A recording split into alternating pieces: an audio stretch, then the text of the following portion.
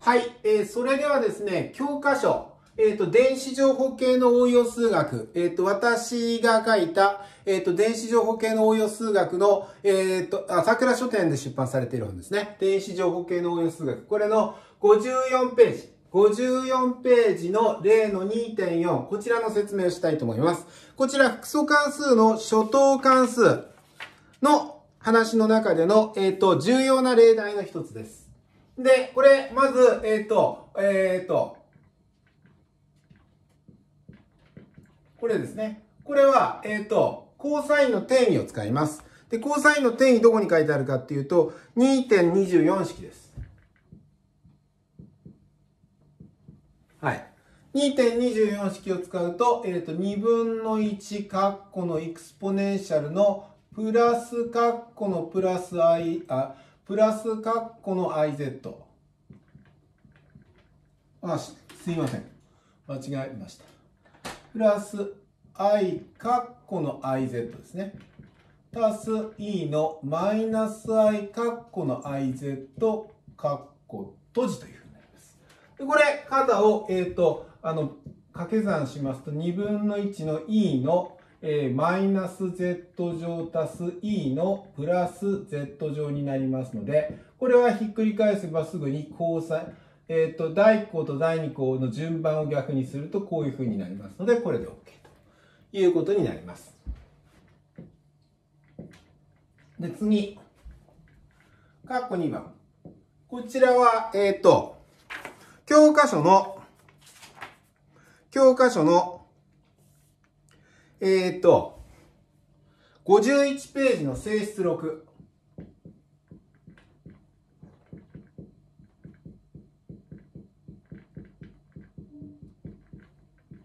要するに、e の z 乗イコール1の解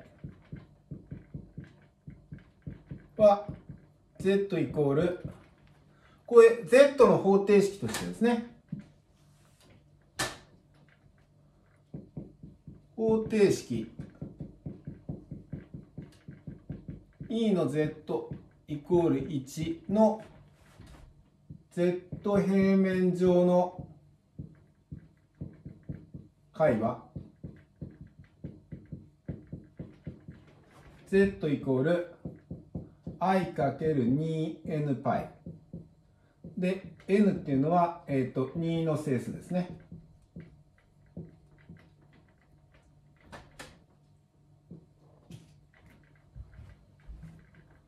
を用いて、コーサイン z イコール1の z 平面上の0ですね。はい。を求めると。ということです。これが括弧2番で。まず、えっ、ー、と、コーサイン z イコール0。つまりこれは、えっ、ー、と、コーサイン z の0点になります。0点と言います。はいで、この式は、コーサイン Z に、やっぱり2.24を使うわけです。はい。2.24を使うと、E の iz 乗足す E のマイナス iz 乗括弧閉じ。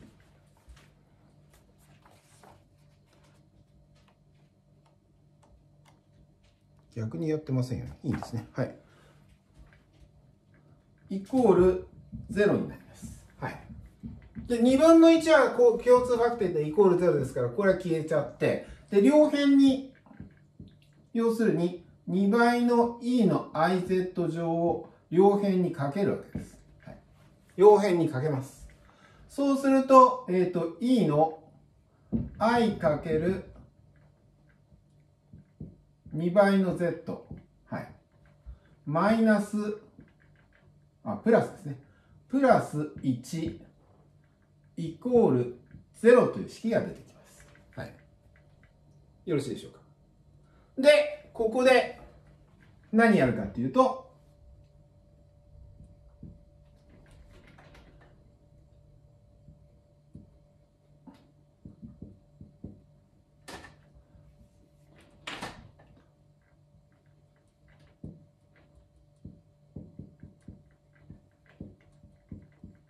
マイナス1となります。はい。よろしいでしょうか？マイナ、プラス1をこっちは移項したんですね。で、そして、これ今持っている方程式は、 exponential z イコール1っていう式なんです。はい。で、そういう風な形に、えっ、ー、と、書き換えればいいので、ここで、えっ、ー、と、マイナス e の i かける 2z えー、イコール1としておいて、マイナス1をこの指数の型に上げた。い。で、マイナス1になる、え、ー、と、指数って何かっていうと、マイナス1っていうのは、えっ、ー、と、実部が、実部がマイナス1で、それで、えっ、と、虚部が0であるという、マイナス1足す、あ、ここに書きますかね。マイナス1たす i かける0というふうに見てやるわけです。はい。で、そうすると、これどうなるかっていうと、で、こっち側を、コーサインシータ。で、こちら側をサインシータにするように、えっ、ー、と、してやるためには、シータをいくつ、どのように取ればいいかっていうと、これマイナス1ですから、えっ、ー、と、コーサインでマイナス1で、シえー、サインが0ですから、これはシータイコール、で、えっ、ー、と、まあ、0と 2π の間ですとどうなるかっていうと、まあ、マイナス π から π の方が考えやすいかもしれませんが、周知で考えると、変革の周知で考えると、 えっ、ー、と、02パイですから、パイ。えっ、ー、と、キュッてやって、2分のパイ。パイですね。パイの時がこれに当たるということになります。そうすると、こ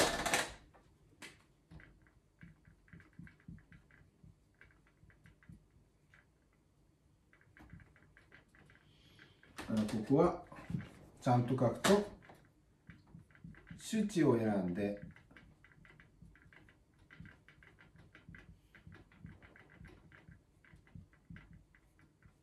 でこう考えてということなのでこれは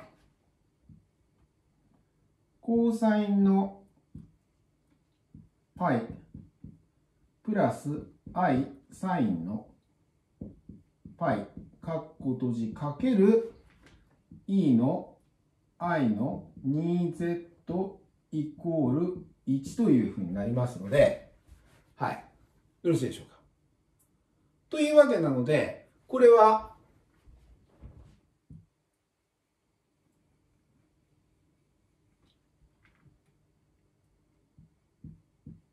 はい。こうなりますから、この式はどうなるかというと、 exponential の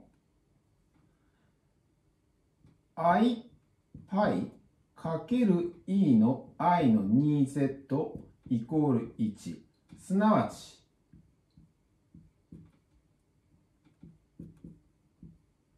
ということで、あとは、指数関数の加法定理を使うと、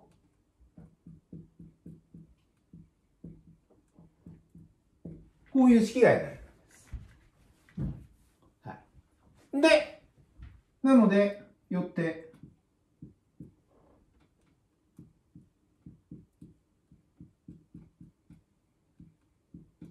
イコールしてこの性質6を使うわけです。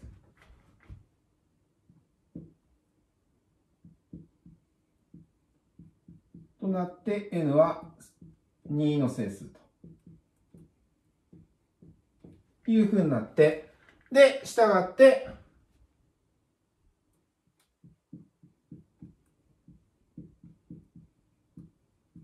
となりますので、求める z は、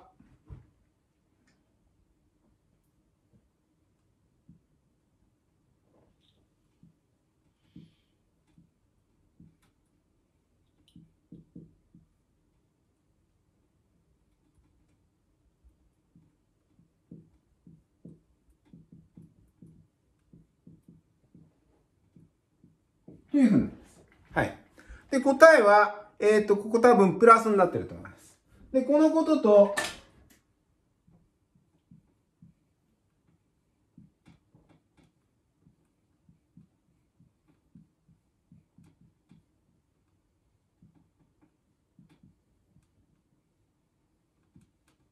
これ n が整数であるというのは10日です。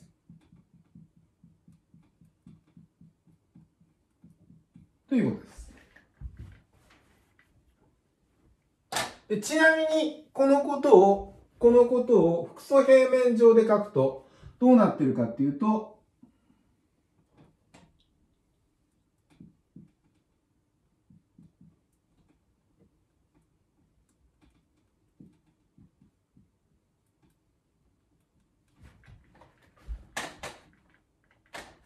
ちょうど実軸上にこう並んでます。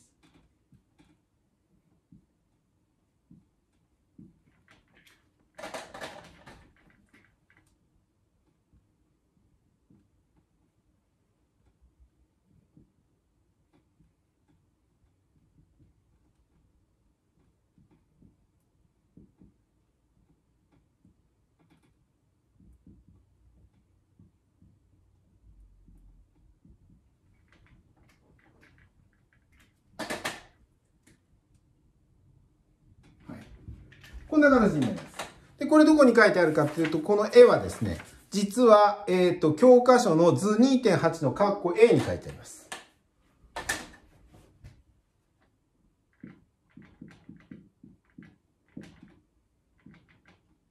これが、これが、要するに、あの、えっ、ー、と、あの、えっ、ー、と、コーサイン Z イコール0。コーサイン Z の0点を複素平面上に全部網羅すると、実は、実関数としてのコーサイン x イコール0。コーサイン x イコール0を見指す点以外には、えっ、ー、と、複素平面上には、それ以外には、えっ、ー、と、コーサイン z が0になる点はありませんよということを表してるんです。はい。これが、まず、えっ、ー、と、カッコ2番です。さて、その上で、カッコ3番ですね。はい。今度は、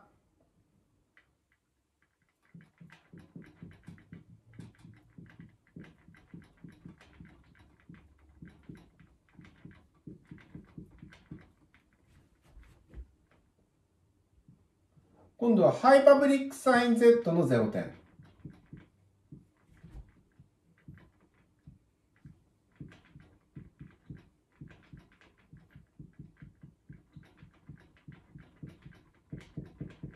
を求めてみたいと思います。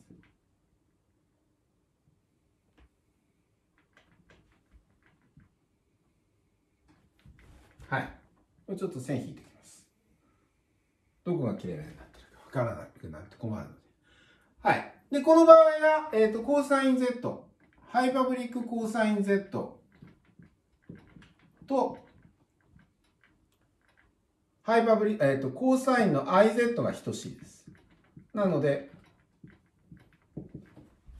この方程式は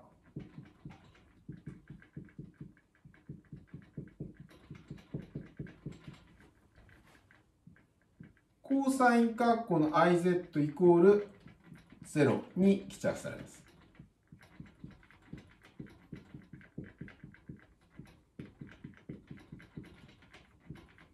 で、この方程式の解っていうのは、括弧2の結果より、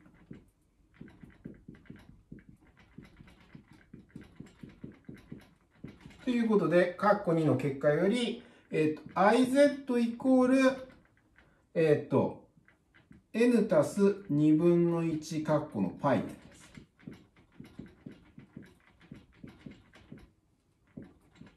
で、これ、i で両辺を割り算するとイコール i 分の1の n たす2分の1括弧の π になるので、イコールマイナス i かける n プラス2分の1括弧の π となります。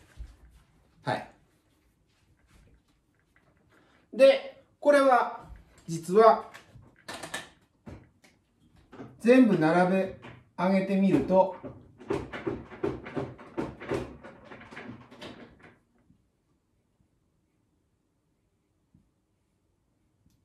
と10日です。はい。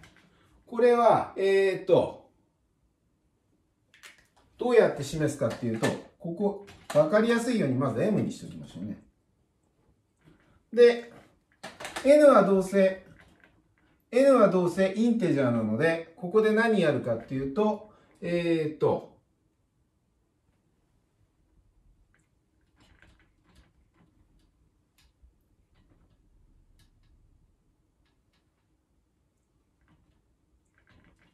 というふうに置換してやります。そうすると、えっ、ー、と、n も m, m もすべての整数になってますので、これで OK で、で、m はインテジャーと。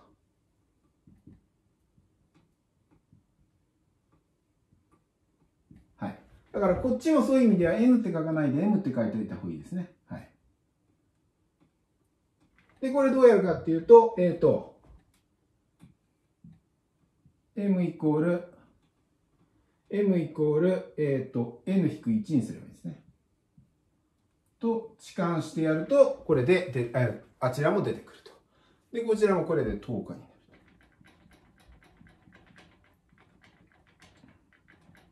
はい。ということです。で、ポイントはですね、今度は、この、えっ、ー、と、すべての、えっ、ー、と、 hyperbolic cosine Z の0点っていうのを、これを複素平面上に並べてみますとどうなってるかっていうと、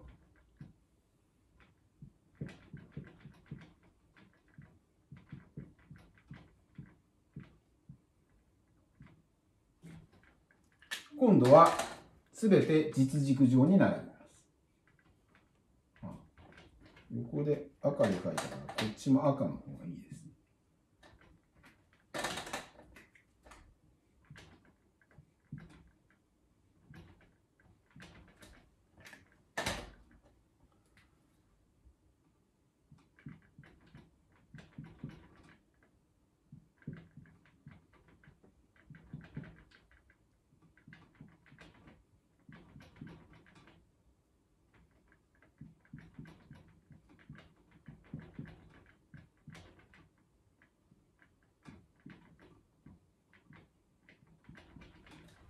というような形になっています。で、これが書いてあるのが教科書の、えっ、ー、と図の、えっ、ー、と、やはり2.8の括弧 C となります。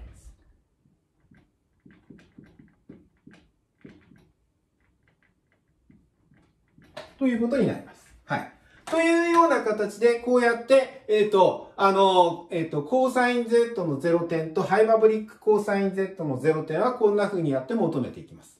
で、同様にして、サイン Z の0点とハイパブリックサイン Z の0点も、えっ、ー、と、同様にして計算することができます。はい。で、えっ、ー、と、出した結果がやはり図2.8の B と D に書いてあります。図2.8の B と D に、コーサイン Z、あ、サイン Z の0点と、 hyperbolic sine Z の0点は、えっ、ー、と、図2.8の B と D に書いてありますので、合わせてですね、自分でこれ、えっ、ー、と、今度はコーサイン Z、あ、サイン Z とハイパブリックサイン Z について同様の計算をやってみて、確認をしてみていただけると、より理解が進むと思います。